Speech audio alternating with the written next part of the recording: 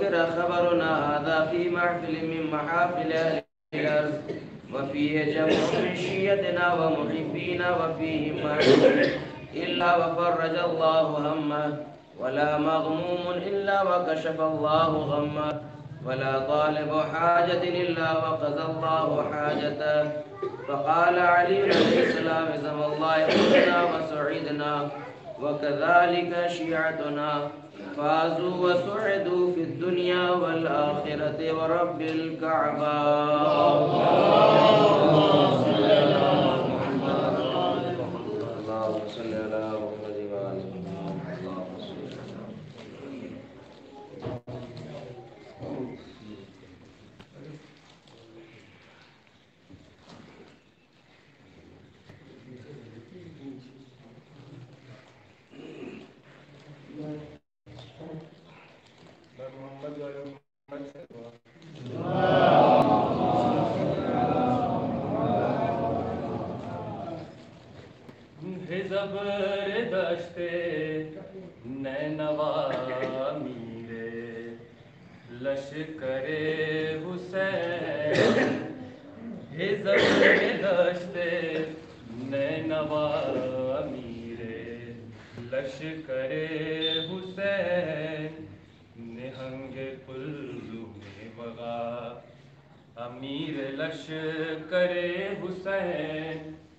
खदंग तरकश पगा अमीर लश करे हुसैन, बरंग शाह लाफता अमीर लश करे हुसैन जरी दिलेर बावफा अमीर लश करे हुसैन, वफा बहद मोजा मीर लश करे हुसैन, हे जबर दस्ते नैनवा अमीर।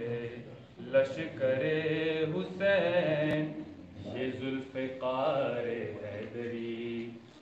ये शेर बेश नजफ, ये तेग तेरे हाशमी। निशान जुरत सलफ हर एक कमर कजे नज़र कफील दश नगान तफ कनार नहर अल्पमा तमाम फौज का हदफ। किसी से पर न रुक सका मीरे लश्करे हुसैन हे जबरे दस्ते नैनवा मीरे। लश्करे हुसैन, बहादुरान सब शिकन में इस जरी के तज़किरे, दिलावराने थे वज़न में इस जरी के तज़किरे, हर एक वफा की अंजुमन।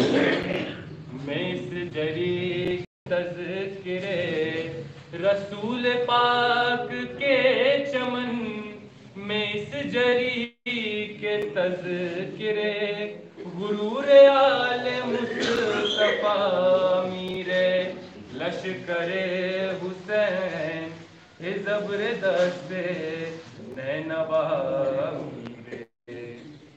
लश्करे हुसैन, इशारे माम हो तुम पत हमें धरा है क्या?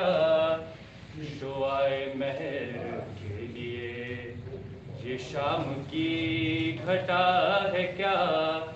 फुरात तक न जान दे। किसी में हौसला है क्या?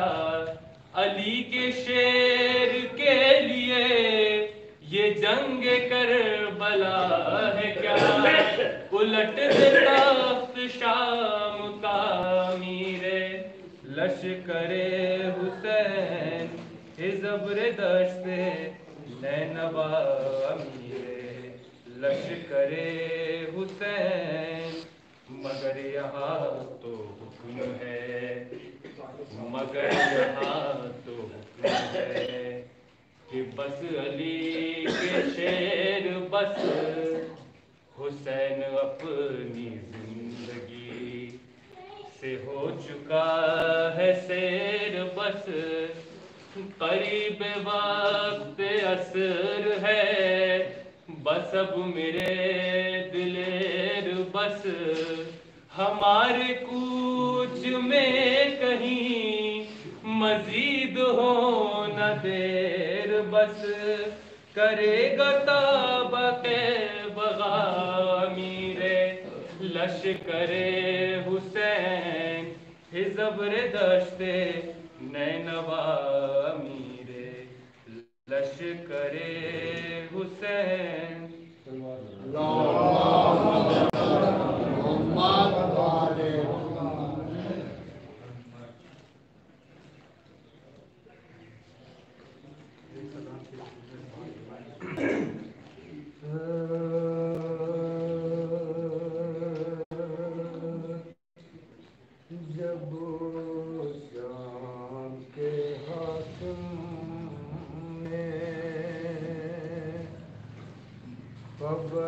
खबरदारों से पूछा, जब शाम के हाकिम ने खबरदारों से पूछा, किस जुल्म पे बेचैन हुए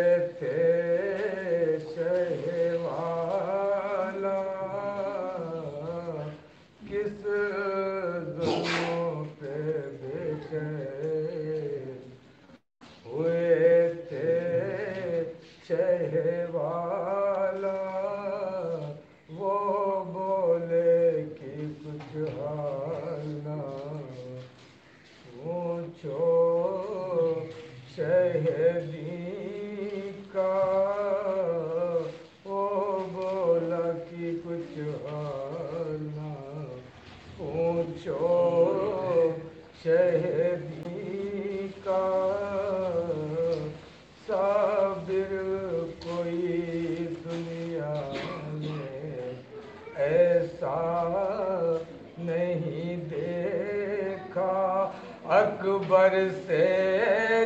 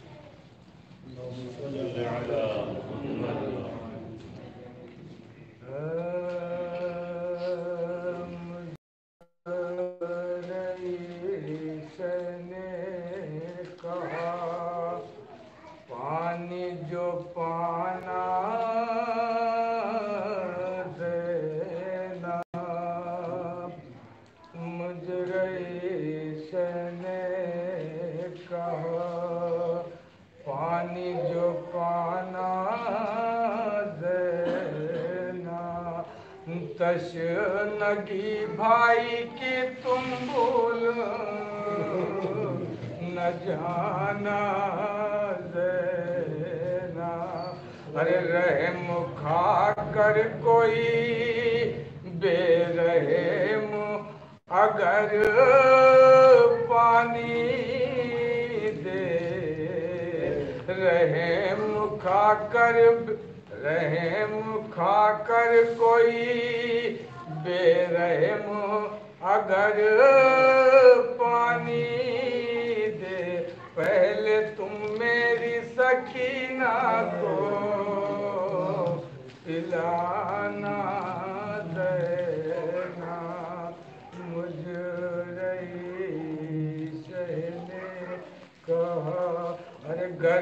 सकीना मुझे रोए तो तसल्ली देना। सामने उसके न तुम अश्क बहाना देना। रोगी तुम तो मेरी लाश को सदमा होगा। लाश पर भाई के ना अश्क बहाना, जैना। हाथ से जालिमों के घर कोई कपड़ा जाए नन्ही सी लाश पे असगर के।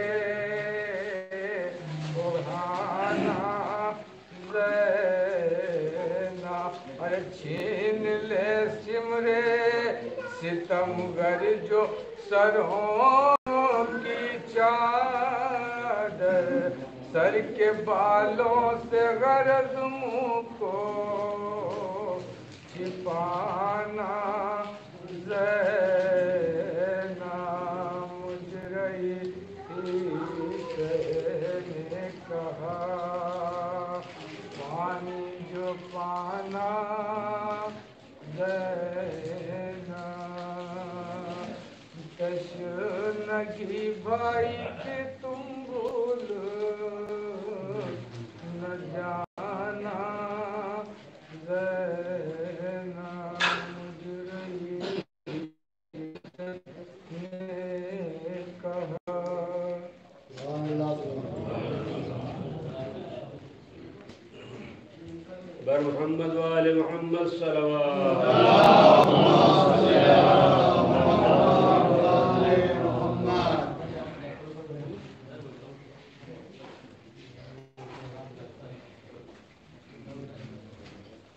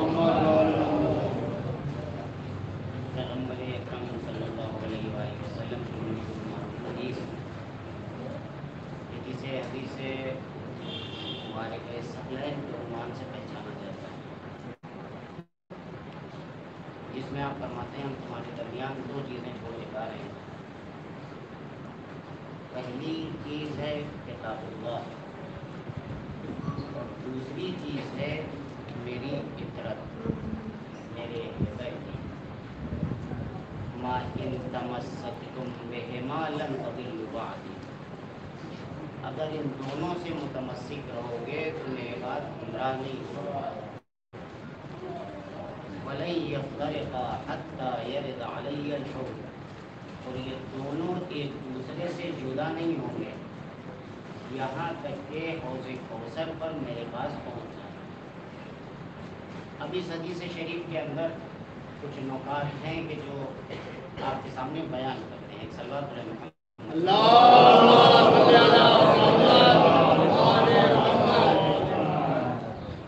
पैगंबर ने हमारे दरमियान दो अहम चीज़ें छोड़ी। हैं एक अल्लाह की किताब है और दूसरे इतरत पैगंबर। देखिए, पैगंबर ने जो इस अजीमुशान हदीस के अंदर जो जुमला कहा है ये नहीं कहा कि हम तुम्हारे दरमियान दो चीज़ें छोड़ के जा रहे हैं एक अल्लाह की किताब है एक मेरे अहले बैत हैं और मेरी इतरत है नहीं। लफ्ज़ जो इस्तेमाल किया है इतरती व अहल बैत। और जो बनाइएगा इसका मतलब ये है कि इतरत के अंदर कुछ खास वो है कि जो अहले बैत के अंदर नहीं है। मुमकिन है कि अगर पैगंबर फरमाते हम तुम्हारे दरमियान दो चीज़ें छोड़ के जा रहे हैं। एक अल्लाह की किताब है, एक मेरे अहले बैत हैं। तो अहले बैत में जैसे बहस होती है और बहुत से अफराद को ज़बरदस्ती ठूस दिया जाता है अहले बैत के अंदर। उसमें भी ठूस दिया जाता। लेकिन पैगंबर ने फरमाया, नहीं, पहले मेरी इतरत बाद अगर आप किताब लुगत उठाए तो आपको इस बात का अंदाज़ा होगा कि इतरत कहते हैं अखस अहल बैती। जो खास हमारे अहले बैत और इसीलिए पैगंबर अकरम ने जब ये जवात मुकद्दसा चादर के नीचे जमा हो गई तो फरमाया अल्लाहुम्मा हाउलाए अहलु बैती व खासती व आमती लहमुहुम लहमी व दमुहुम दमी। युलिमुनी मा युलिमुहुम व यहजुनुनी मा यहजुनुहुम कि ये मेरी इतरत है इसके अलावा कोई मेरी इतरत नहीं है कोई मेरे अहले बैत नहीं है। जो इनसे मोहब्बत करेगा वो मुझसे मोहब्बत करेगा जो इनसे बुग्ज रखेगा वो मुझसे बुग्ज रखेगा। एक सलवार पढ़ दे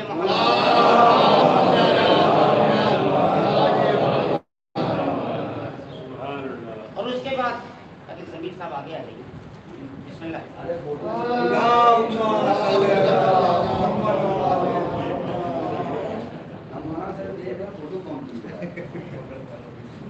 नहीं तो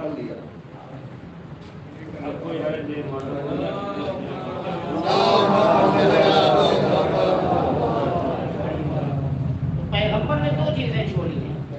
एक, अल्लाह की किताब है, दूसरे, उनकी इतरत है।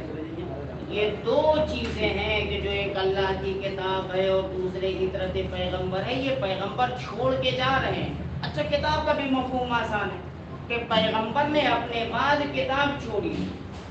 किताब का मफहूम ये होता है कि जो चीज़ दो दफ्तियों के दरमियान जमा हो, ये सहाबा को जब फजीलत देना एक मुसलमानों के दरमियान रवाज पाया कि चोरी के फजाइल कमालात हसहाब की तरफ़ मंसूब किए जाने लगे तो ये भी एक फजीलत उनके साथ चिपका दी गई। मगर चिपकाने के लिए लेई अच्छी नहीं वो अच्छे से चिपका नहीं है। इसीलिए वो पता चलता था कि इसको ज़बरदस्ती चिपकाया गया। जितनी चीज़ें आप देखें, तारीख इस्लाम के अंदर ज़बरदस्ती चिपकाई गई है, वो पता चल जाती है दूर से कि ये गोंडी है। मिसाल के तौर पर जिसने सिद्दीक ताहिरा को झुटलाया है, उसी के ऊपर सिद्दीक अकबर का लेबल लगा दिया गया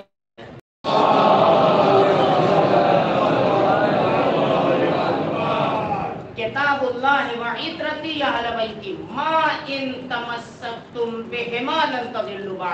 पैगंबर गारंटी ले रहे हैं कि अगर इन दोनों से मुतमस्सिक रहोगे तो मेरे बाद गुमराह नहीं होगे। यानी गुमराही से बचने का सिर्फ़ और सिर्फ़ एक तरीका है, और वो तरीका है दमन कुरान व अहले बैत से मुतमस्सिक होना। लई यफ्तरिका ये दोनों एक दूसरे से जुदा नहीं होंगे। इसमें भी एक वैसे इंशाल्लाह आइंदा बयान करेंगे। ये हरगिज हरगिज एक दूसरे से जुदा नहीं होंगे। यानी पैगंबर इसकी भी जमानत ले रहे हैं कि देखो, कहने वाला पैगंबर है, ये कह रहा है कि ये दोनों जुदा नहीं होंगे। तो मुसलमान ला कुरान को अहले बैत से जुदा करें, अहले बैत को कुरान से जुदा करें। ये जुदा होने वाले नहीं है। जब इंसान कुरान की बातों को न समझ सकेगा तो मजबूरन दर अहले बैत पर आके उसे सजदा करना पड़ेगा। ताकि हकायत कुरानी से आशना हो सके। इसलिए कि अहले बैत मुअल्लिम कुरान है और बगैर मुअल्लिम के जब मामूली किताब समझ नहीं आती तो अल्लाह के किताब हत्ता यरदा अलैहिल हौद। और आप इसी हदीस मुबारक सकलैन से इसमत भी साबित होती है। कुरान के बारे में, कुरान खुद अपने बारे में क्या कह रहा है?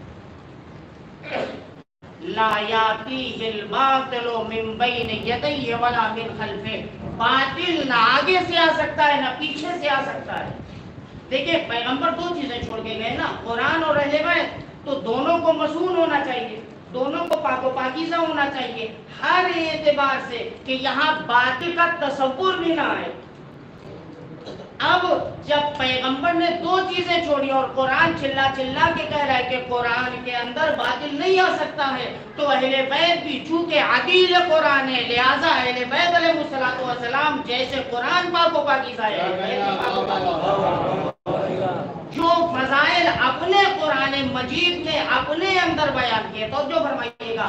कुरान मजीद ने अपने जिन जिन फजाइल कमालात का ऐलान कुरान मजीद के अंदर किया है वो अपने फजाइल कमालात का ऐलान नहीं किया बल्कि वो दबे अल्फाज में आले मोहम्मद की फजीलतों का कसीदा पढ़ा इसलिए कि अहले बैत और कुरान साथ साथ है। कि चूँकि मरहूम अल्लामा जवादी की मजलिस है। लिहाजा एक आलिम और बुज़ुर्ग शख्सियत की मजलिस है। लिहाजा एक इल्मी बात आपके हवाले कर दें कि यहाँ पर कुरान और अहले बैत की या अमीर और अहले बैत की बात जहाँ भी हुई है, वहाँ पर इजाफत की दो किस्में होती हैं।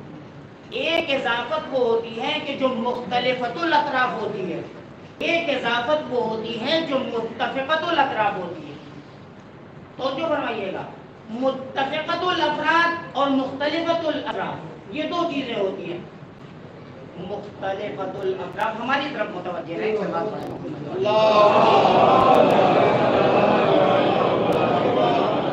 थोड़ा सा आप लोग आगे आ जाइए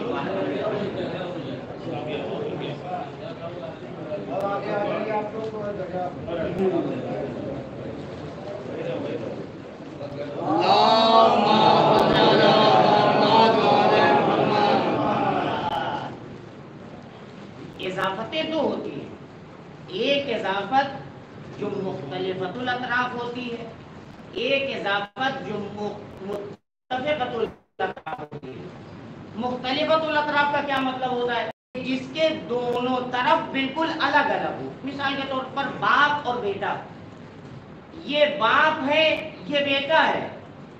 लेकिन अगर दूसरी तरफ़ से देखा जाए, तब भी अलग अलग है। ये बेटा है, ये बाप है। ये इजाफत मुख्तलिफ़ है। लेकिन जब इजाफत मुत्तफिक होती है तो उसमें चाहे बात इधर से कहे, चाहे इधर से कहे दो भाई हैं। दो भाई हैं। या ये कहें कि इसका ये भाई है, या ये कहिए कि ये इसका भाई है, बात वही होती है। लेकिन ये बाप और बेटे में बात साजिश नहीं आती है। वो बाप है, वो बेटा है। लेकिन जब इधर से देखेंगे तो ये बेटा है, वो बाप है। दोनों अलग अलग हैं इजाफत के एतबार से। लेकिन ये इजाफत के एतबार से एक है। ये इसका भाई है। ये इसका भाई है। अब पैगंबर ने फरमाया, हम तुम्हारे दरमियान दो चीज़ें छोड़ के जा रहे हैं। एक अल्लाह की किताब है, एक अहले बैत है। अब ये दोनों साथ साथ रहेंगे। न ये इसका साथ छोड़ेगा, न ये इसका साथ छोड़ेगा। और जो फरमाइएगा, न ये इससे अलग होंगे, न ये इससे अलग होंगे। इनको समझना है तो इनको समझो। इनको समझना है तो इनको समझो। ये पढ़ पढ़ के इनका कसीदा पढ़ेंगे, ये इनका कसीदा पढ़ेंगे खुदा को समझना है तो कुरान को समझो। खुदा को समझना है तो अहले बैत को समझो। यानी जहाँ पर भी कुरान को समझना है, अहले बैत को समझो, अहले बैत को समझना है, कुरान को समझो। एक सलवार पढ़े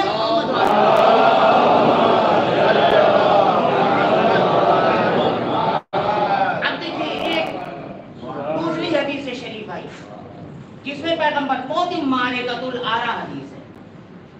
और इस तरह की दो तीन हदीस फरमाते हैं। अलीयुन मअल कुरान वल कुरान मा अली। अली कुरान के साथ है। कुरान अली के साथ है। लन यफ्तरिका हत्ता यरदा अलैयल हौज ये पूरी सुभान अल्लाह और ये मनाबे शिया में कम मनाबे अहले सुन्नत में ज़्यादा आई है।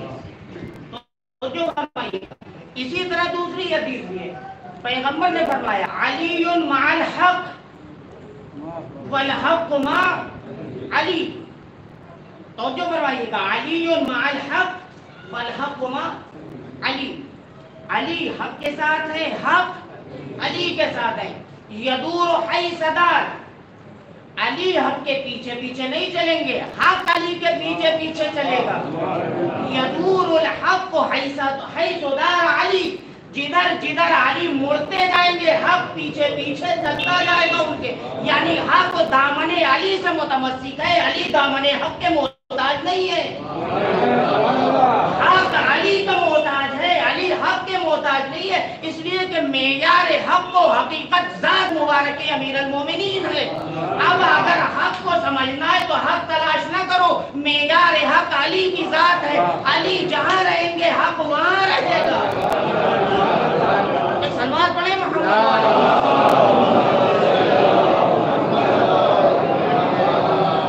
अब देखें दोनों हदीस के अंदर। अल्लाह। कुरान। वल कुरान अली। अली कुरान के साथ है कुरान अली के साथ है। हदीस की इब्तिदा होते है अली अलीयुन। मअल कुरान। तवज्जो फरमाइएगा थोड़ी बहस संगीन है। अली अलीयुन मअल कुरान वल कुरान। मा अली यानी हदीस की इब्तिदा भी अली से होती है इंतहा भी। तो फरमा हैं, हदीस की इब्तिदा भी होती है अली से। बल्कि ये ना कहें हदीस की इब्तदा होती है। इब्तदा भी अली से हो रही है इंतहा भी। यानी शुरुआत भी अली है इख्तिताम भी। दरमियान में कुरान है। यानी दर इंसान के वजूद के अंदर दरमियान में क्या होता है? दिल, कल्ब। यानी कल्ब अली में कुरान है। यानी अगर कुरान आपको कहीं ढूंढना है तो इधर उधर जाने की ज़रूरत नहीं है। कल्ब अली में कहने वाला कौन है? ये हदीस बयान करने वाला कौन है? आकले कुल अक्ल यही दोनों निस्बत जो आपके सामने इजाफत के किस बयान की है। चाहे पैगंबर अकरम को आप अकले कुल कहें या कुल्लुल अक्ल कहें, वो हदीस बयान कर रही है कि अली कुरान के साथ है, कुरान अली के साथ है। इसका मतलब ये है कि यहाँ भी निस्बत वही पाई जाती है, इजाफत वही पाई जाती है। अली को समझना है तो कुरान को समझो। कुरान को समझना है। यानी बगैर अली के कुरान समझ में आने वाला नहीं है। अगर इंसान के दिल से कोई राबता करना चाहता है तो डायरेक्ट दिल से राबता करेगा या पहले जिस्म से राबता करेगा? तो क्यों फरमाइएगा पहले किससे राबता करेगा? पहले तो बोलचाल होती है ना सलाम दुआ होती है। उसके बाद इंसान दिल में उतरता है या नहीं उतरता वो बात का मसला है।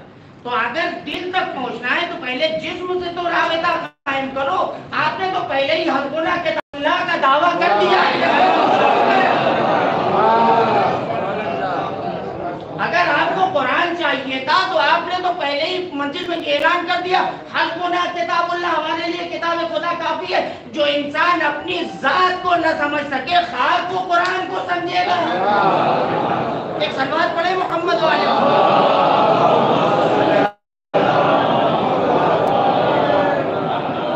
तो बात यहाँ तक साबित हो गई कि इब्तिदा भी अली इंतहा भी अली, कुरान बीच में है अगर कुरान चाहे आप इधर से जाइए चाहे इधर से जाइए सामना अली से पहले होना है। कुरान आपको पहले मिलने वाला नहीं है दरमियान में अली है। दरमियान में कुरान है। अली माल कुरान वल कुरान मा। यानी मुहाफिज कुरान जात मुबारक अमीर मोमिनीन है। दोनों तरफ़ कौमा लगा हुआ है। दोनों तरफ़ अली का लगा हुआ यानी कुरान तक पहुँचना है तो अली के पास जाओ। अब देखिए कुरान मजीद क्या कहते हैं सूर्य मुबारक वाकया। ये सूर्य मुबारक वाकया मंसूब है जात मुबारक अमीर अलमुमीन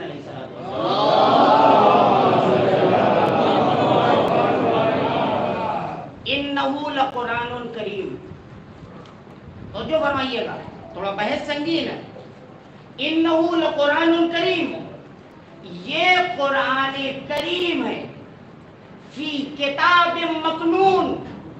एक पोशीदा किताब के अंदर ये कुरान मजीद है। ला इल्लल मुतहरून और सिवाय मुतहरून के इस किताब को कोई टच नहीं कर सकता है। अब तवज्जो फरमाइएगा। कि जो ये कुरान मजीद किताब मकनून के अंदर है तो वो किताब मकनून है कहा? पैगंबर यही बताना चाहते अली माल कुरान वल कुरान व अली। कुरान कल्ब अली के अंदर है, अगर मुताबर हो तो कुरान करीब जा सकते हो वैला इनसे राबिता ही नहीं कर सकते। एक सलवार पढ़े मोहम्मद वाले। पाक पाकिजा अफराद ही सिर्फ़ सिवाय मुतहहरून के कोई से छू भी नहीं सकता है, मज भी नहीं कर सकता है। इसलिए कि परवरदिगार आलम ने कुरान मजीद को कल्ब अली के अंदर महफूज कर दिया है। अब कहते हैं कि साहब, शिया कहते हैं कि तहरीफ कुरान के कायल हैं और 40 पारे थे और 50 पारे थे और डेढ़ सौ पारे थे, जितने भी रहे हों। कुरान तो कल्ब अली के अंदर महफूज है। जो लोग अली से राबता कर ले, कुरान उन्हें मिल जाएगा। जो अली से दूर जाएँगे, वो कुरान से यानी अगर महरूमियत से तुम्हें दस्तो पंजा नर्म करना है तो अली से दूर हो जाओ, कुरान हासिल करना है तो दले अली पर आ जाओ। और इसीलिए मुअल्लिमीन कुरान की जो फेहरिस्त है, उसमें आपको सबसे बड़ी शख्सियत इब्ने अब्बास की देखेगी अब्दुल्ला इब्ने मसूद की दिखेगी, जनाबे निसम तम्मार की देखेगी। इसके अलावा आपको बड़े बड़े मुअल्लिमीन कुरान नहीं दिखेंगे, लेकिन जो भी दिखेगा, सब दरे अली के भिखारी दिखेंगे। आपको हैरे फैरे नहीं दिखेंगे। जिसने भी अमीर अलैहिस्सलातु वस्सलाम से राबिता कर लिया, उसे मिलेगा। एक सलवार पढ़े मोहम्मद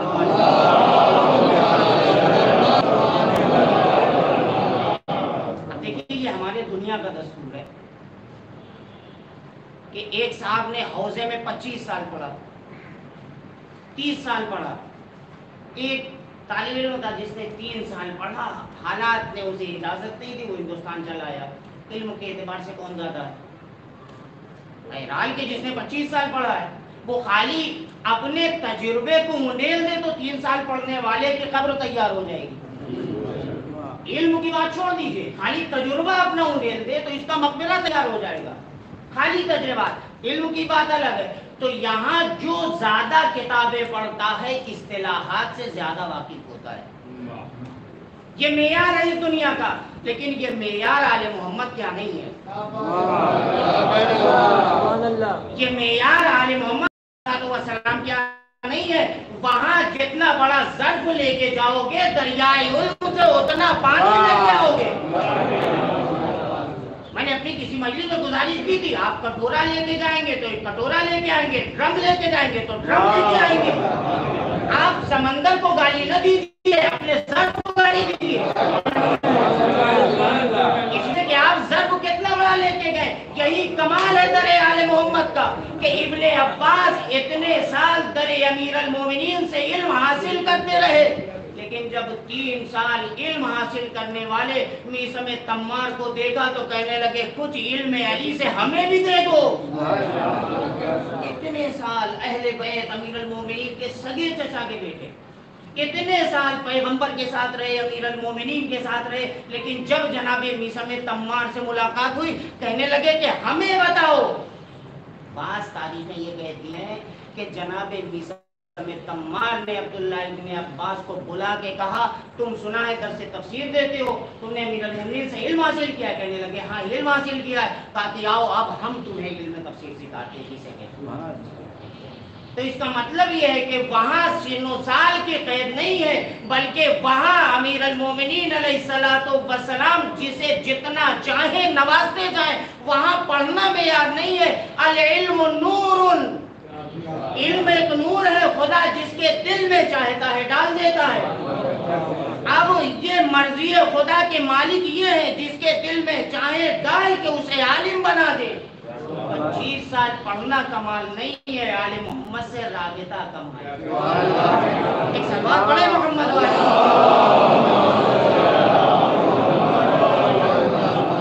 अब देखिए कुरान मजीद क्या कह रहा है।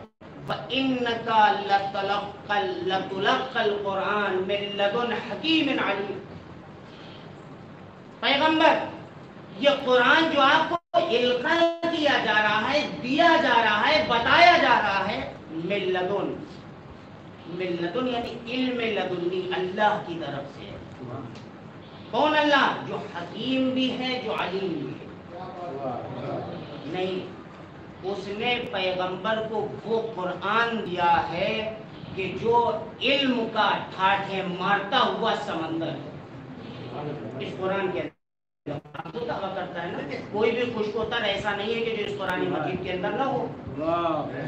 अब ये कुरान खुद ऐलान कर रहा है कि मिल्लतुल हकीम अलीम। हिकमत का लामुतनाही दरिया है ये कुरान मजीद। जब इल्म हिकमत का लामुतनाही दरिया है तो ये दरिया है कहाँ? सीने अली के अंदर है। अब अगर मिंबर कूफा से अमीर मोमिनीन आवाज़ दे सलूनी कबला तफ्किदूनी इससे पहले कि मुझे खोदो जो चाहो पूछना चाहते हो पूछ लो। तो उसमें एतराज़ नहीं होना चाहिए। इसलिए कि सारे इल्म जहाँ खत्म होते हैं वहाँ से की इब्तदा होती है। सलवार पढ़े मोहम्मद वाले।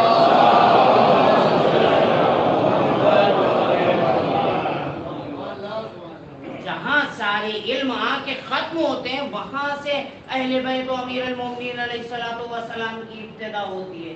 वहाँ से इनकी शुरुआत होती है। तो ये अर्ज़ किया मैंने कि अगर आपने ये हमारा मुकदमा समझ लिया है तो एक बात कहें कि यहाँ के ऊपर जो इस चीज़ और सारे मुकदमा से बात समझ में आती है कि परवरदिगार आलम ने कुरान को किताब मखनून के अंदर रख दिया है। है ना?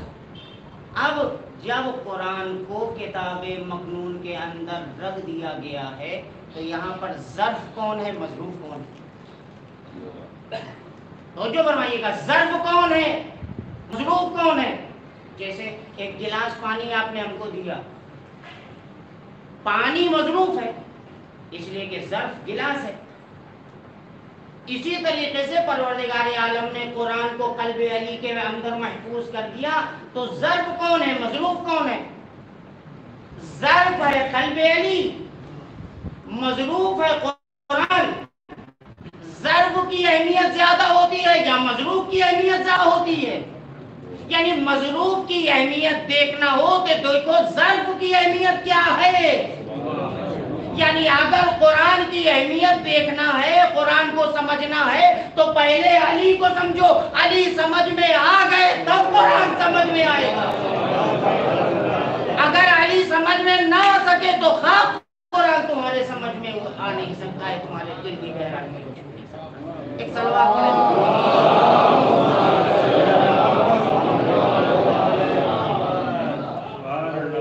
ये ये बैत इसमत व तकारा है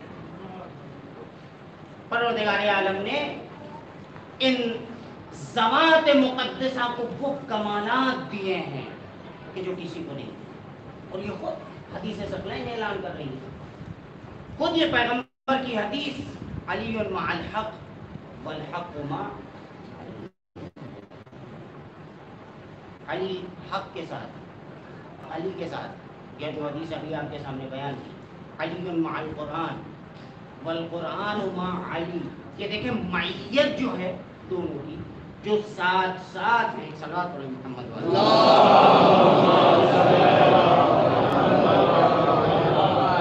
ये जो दोनों साथ साथ हैं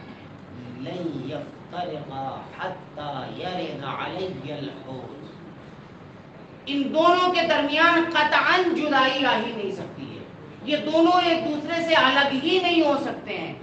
पैगंबर जमानत ले रहे हैं कि तुम बहक सकते हो अली नहीं बहक सकते हैं। कि उम्मुल कहते हैं कि हमारे यहाँ कुछ आयतें लिखी हुई हैं तकिया के नीचे रखी हुई थी और उसके बाद मेरी बकरी आई और उसने खजूर की पत्ते पर वो लिखी हुई थी और उसको कर इसका मतलब ये है कि इनका राबता उस किताब मखनून से होता तो उसके अंदर और जो फरमाइएगा इनका राबता नहीं था उससे, इसीलिए इनकी बकरियों ने खा लिया। हमारा कुरान महफूज है, हम तहरीर कुरान के कायल नहीं है। ये कुरान जो आज हमारे दरमियान मौजूद है बेआन ही वैसा के जैसे पैगंबर ने अपने जमाने में जमा किया था। न इसमें एक नुक्ते का इजाफा है, न एक नुक्ते की कमी। एक सलवात पढ़े मोहम्मद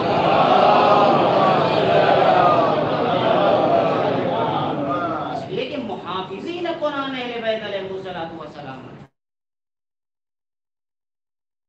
रहेंगे तब तक कुरान बाकी और जब तक कुरान बाकी रहेगा, तब तक अहले बैत बाकी रहेंगे। ये हदीस बता रही है।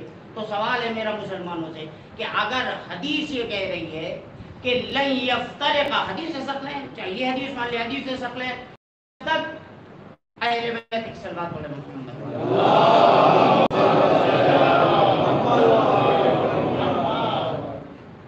जब तक कुरान बाकी रहेगा। यफ्तर का ये दोनों एक दूसरे से जुदा नहीं होंगे। यहाँ तक के हौज कौसर पर मेरे पास पहुँच जाए। तो अगर हम मुसलमानों की मानते हैं तो कुरान अकेला है, अहले कहाँ गए? फर्द बाकी है। जो मुफसर कुरान हो, जो मुअल्लिम कुरान हो, जो मुहाफिज कुरान हो उनके एतबार से अगर उनके जाविये से अगर हम कुरान को देखेंगे तो उनका कुरान अकेला खड़ा हुआ हलमिन नासिरीन, की आवाज़ बुलंद कर रहा है। लेकिन अगर अपने नज़रिए के एतबार से देखेंगे तो आज भी एक अली है जो ज़िंदा है, जो मुआवजे कुरान बना हुआ है। और ये इस बात की अलामत है कि पैगंबर अकरम ने इन दोनों चीज़ों को साथ छोड़ा था। जब तक कुरान रहेगा, तब तक आले मोहम्मद रहेंगे, जब तक आले मोहम्मद रहेंगे, तब तक कुरान एक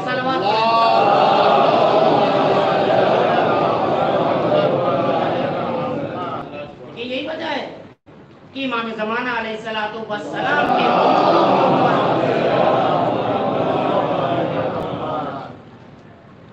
ये हदीस शरीफ दलालत करती है इसी हदीस शरीफ की रूह से आज पैगंबर की इतरत का आखिरी चिराग जल रहा है कितनी आंधियाँ चली।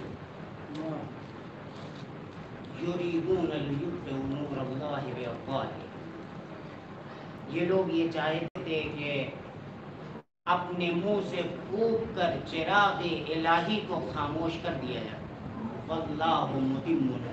लेकिन अल्लाह ये चाहता है कि अपने चिराग को जला के रखे कामिल करे। वलाओ करे हल काफिरून काफिरों को ये बात अच्छी लगे या न लगे? आप ये ना सोचिएगा कि काफिर से मुराद वो लोग हैं। काफिर से मुराद वो लोग नहीं है काफिर से मुराद जो विलायत अमीर मोमिनीन का इनकार करते हैं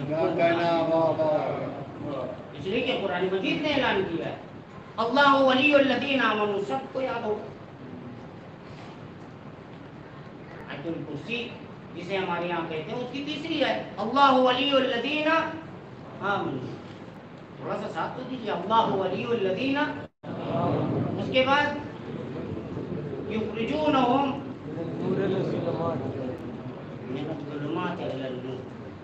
अल्लाह वली है उन लोगों का कि जो साहिबान ईमान है। अल्लाह क्या करता है?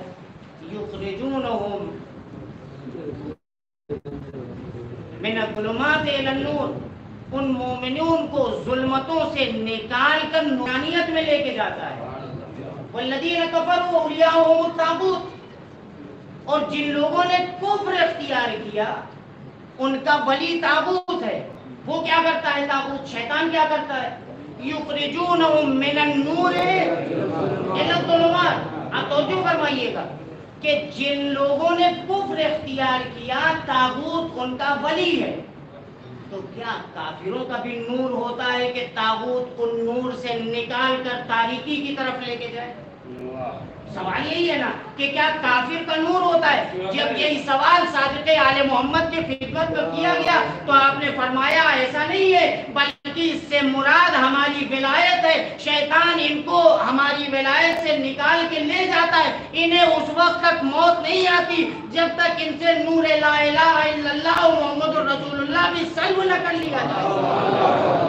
जब ये इनकार कर देते हैं तो इन्हें मौत आ जाती है। लेकिन जो हमारा वली होता है, वो गुनाहों के दलदल में फंसा हुआ होता है। जब तक वो अपने गुनाहों से तौबा नहीं कर लेता, तब तक उसे मौत नहीं आती है।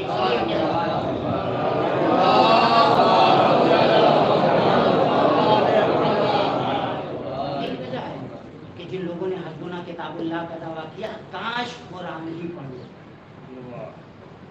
काश कुरान ही समझ लेते तो उन्हें इस बात का अंदाज़ा हो जाता कि अहले बैत हैं कौन? मजीद। अब शुरू होता है, देखिए, कहाँ से? बिस्मिल्लाहिर्रहमानिर्रहीम, सूरह मुबारक हमद हो चुका। अलिफ लाम मीम। जालिकल किताबु ला रैबा फ़ी। ये वो किताब है जिसमें शक शुबा की गुंजाइश नहीं है। सारी रिवाई तफासिर आप निकाल के देखिए। यहाँ पर जालिकल किताब से मुराद कौन है? अल किताब जिसे कहा गया है, वो जात मुबारक अमीर अल मोमिनीन अलैहिस्सलाम। इस किताब के अंदर किसी तरह की शक शुबा की कोई गुंजाइश नहीं है। तो यहाँ पर जब मुसलमान कहते पैगंबर ने अगर अपने बाद अली को खलीफा बनाया तो बिसराहा अगर कह देते अपनी ज़िंदगी में तो हम मान लेते। बिसराहा तो हर रोज पाँच टाइम की नमाज़ पढ़ते थे, मगर आप लोगों को कहा याद है? भाई, इससे ज़्यादा सराहत क्या होगी कि पैगंबर हर रोज पाँच वक्त मस्जिद में आकर नमाज़ पढ़ते थे, लेकिन कोई कहता, यहाँ से बांधते थे। कोई कहता, यहाँ से बांधते थे। कोई कहता, ये ऐसे बांधते भाई, जब जिस चीज़ का हर रोज पाँच मरतबा ऐलान करते थे, जब तुम्हें वो याद नहीं है तो अली की विलायत कैसे आएगी?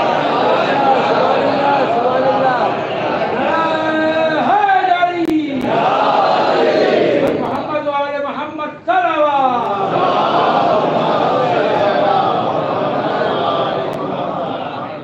देखें जब इंसान तालिब हक व हकीकत होता है तो छोटी सी बात भी उसके समझ में आ जाता है। लेकिन जब इंसान इस बात पे उतर आए कि हम दिन में अभी सूरज निकला हुआ है बाहर जाके गए हम मानते ही नहीं सूरज निकला है? कोई दुनिया में कोई जात है कि जो उससे मनवा ले कि सूरज निकला है? कोई नहीं मंगवा सक मनवा सकता उससे कि सूरज निकला हुआ है। बस यही बात है कि पैगंबर ने सराहत की हो या न की हो कुरान ने अगर एक मर्तबा भी कह दिया है कुल्ला फिल तो हमने उसे मान लिया। आज देखें आप जाके YouTube के ऊपर सर्च करिए एक शख्सियत है तारिक संविधान करके। उसका अरब दुनिया में चैनल भी चलता है टीवी चैनल है उसका बस कभी गुफ्तगू नमाज़ का वक्त भी समय का वक्त भी हो गया है। एक सलवार पड़ेगा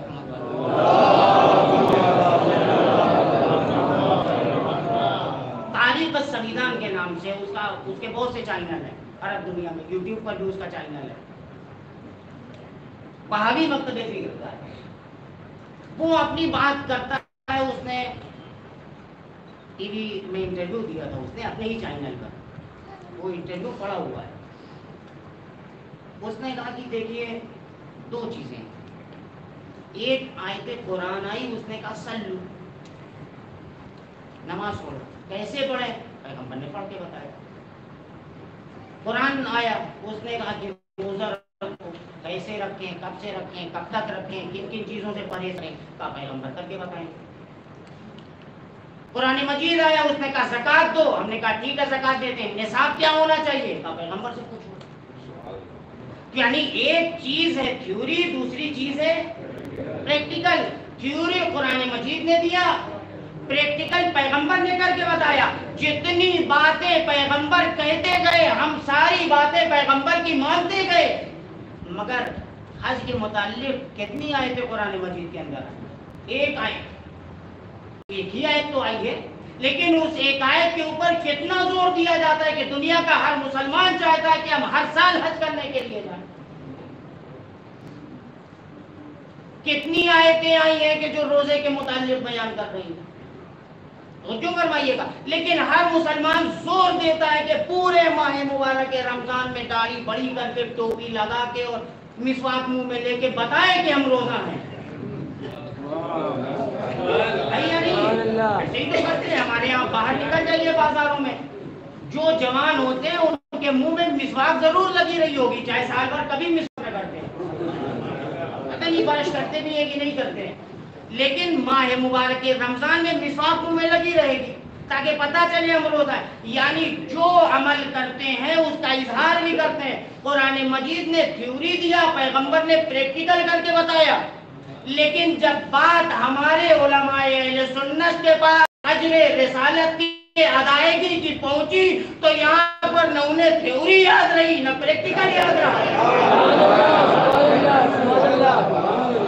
शिया नहीं कह रहा है ये वहा भी कह रहा है कि जब बात अजर रिसालत की अदायगी की पहुँची तो हमें कुछ याद ना रहा। हम एतराज़ करते हैं, साहब शिया ऐसा करते हैं, वैसा करते हैं, बिदात करते हैं, हराम करते हैं। हम कहते हैं, जो भी करते हैं, कम से कम करते तो हैं। हमसे मुराद वो कहता है, तारीख का संविधान कहता है। उसने कहा कि अगर रोज़े कयामत पैगंबर अकरम आए और उन्होंने हमको और शियों को सामने खड़ा किया तो हम कहेंगे, साहब, शिया बिदत करते थे। शिया पैगंबर से कह देते या रसूल अल्लाह बलो गलत, लेकिन किया तो हमने। लेकिन आप जो अपने को आलू सुन्नत जमात कहते थे, आपने कहा सुन्नत पैगंबर को अदा किया? पैगंबर तो रो रो के बताते थे कि हमें हुसैन में ज़िंदगी में भी रो मरने के बाद भी रो। लेकिन तो आपने तो अजर रसालत अदा ही नहीं किया। अजर रसालत सिर्फ़ दिल से मोहब्बत का नाम नहीं होता है बल्कि जो मोहब्बत दिल में है आंसुओं के ज़रिए उस मोहब्बत के इजहार को अजर रसालत कहा जाता है। दिल के अंदर छुपी हुई मोहब्बत का इजहार करो और इसीलिए इब्ने शबीब की जो रवायत है उसमें इमाम रजा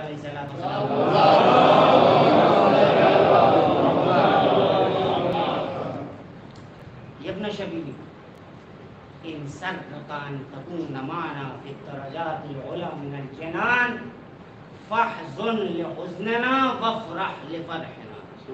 अगर चाहते हो जन्नत में हमारे दर्जे में रहो तो हमारी खुशियों में खुश हो हमारे गमों में गमजदा हो। इजहार मुसीबत होना चाहिए, इजहार खुशी होना चाहिए। सिर्फ़ दिल के अंदर मोहब्बत रखना ना काफ़ी आँखें इस बात का इजहार करें कि हम हुसैन के आजादा आज ग्यारहवीं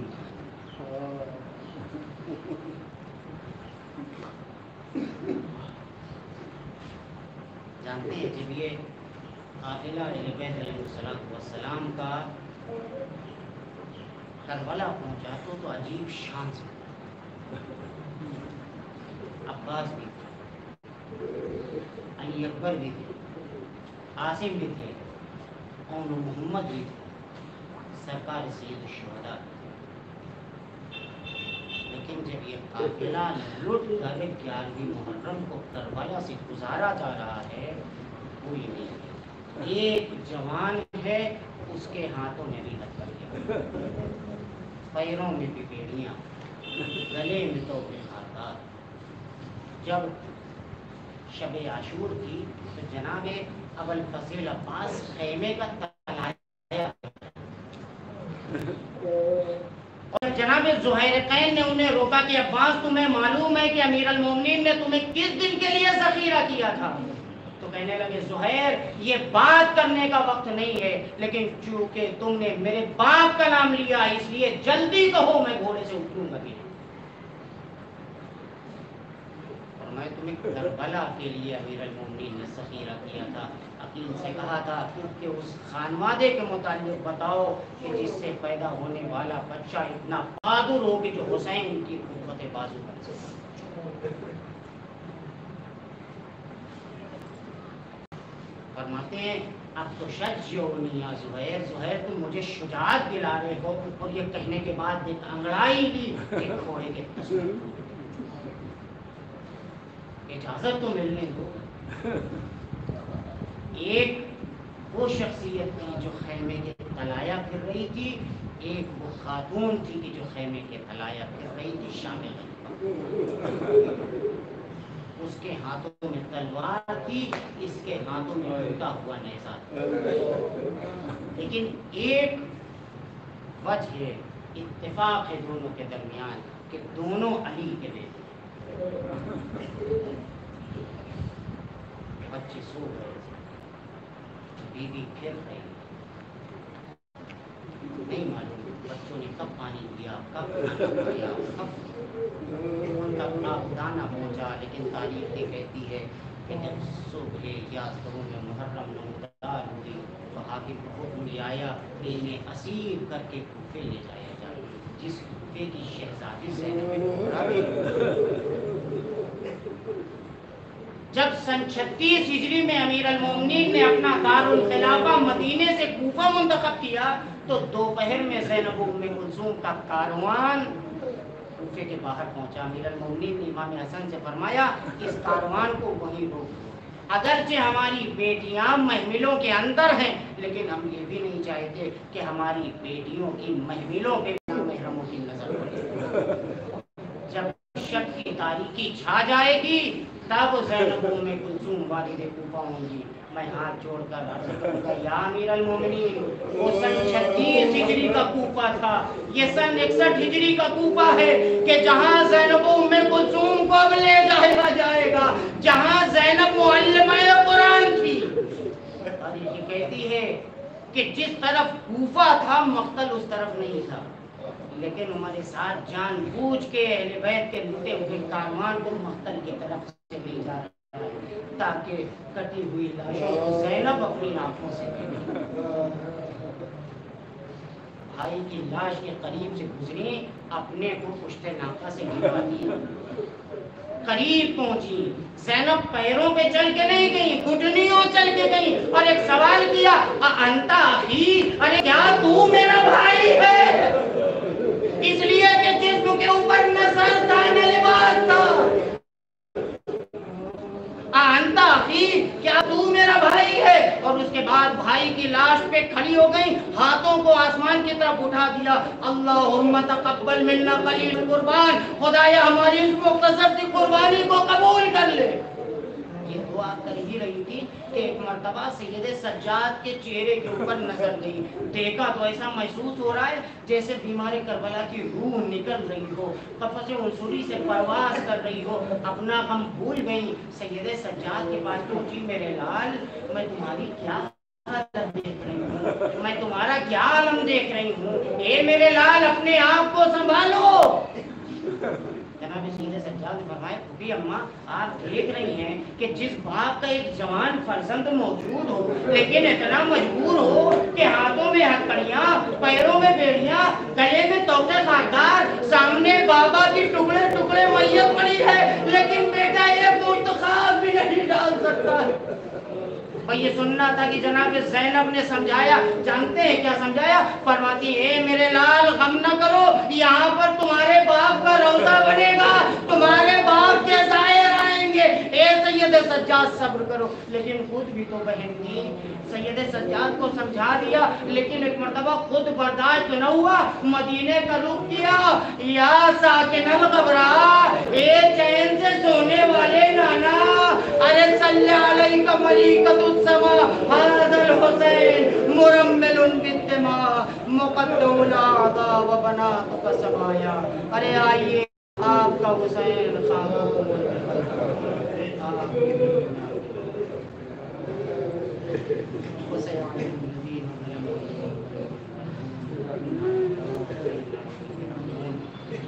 मोहम्मद वाले मोहम्मद का वास्ता हमारे इस मुख्तसर से ज़िक्र को कबूल जो बीमार हैं बेहतर बीमारी कर मेरा शिफाई का जिन अनायत जो मकरूज हैं उन्हें कर्जों से परचम इस्लाम को सरबुलंद कर परचम शिरक को निफाक को सरनिगों का परवरदिगार मोहम्मद वाले मोहम्मद का वास्ता उलमाए आमीन का साया हमारे सरों के ऊपर बाकी रख।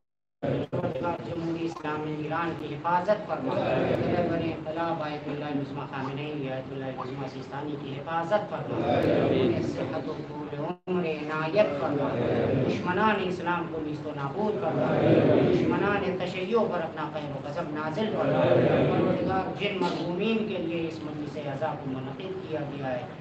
उनके दर्जात में बुलंदी इनायत जवाब मोहम्मद वाले मोहम्मद में जगह इनायत परवरदिगार उनके तमाम गुनाहाने सगीरा व कबीरा से दरगुजर फरमा परवरदिगार मोहम्मद वाले मोहम्मद का वास्ता उनके पसमानदगान को सब्र जमील इनायत फरमा इस मुहर्रम में हमने जो भी आज़ादारी की है परवरदिगार हमारे इस अजर सवाब में उन्हें भी शरीक फरमा से गुजारिश है एक मरतबा सूर्य हमद और तीन मरतबा सूर्य अखलास की तलावत फरमा कर मरहूम मुख्तार हुसैन इब्ने मोहम्मद खतीब अल्लामा जवाद मरहूम आबिद हुसैन साहब मरहूम मौलाना एहसान हैदर साहब किबला मोहम्मद हामिद रिजवी साहब मरहूम समीर फातिमा आज़ादार हुसैन और मरहूम अमीर असहद साहब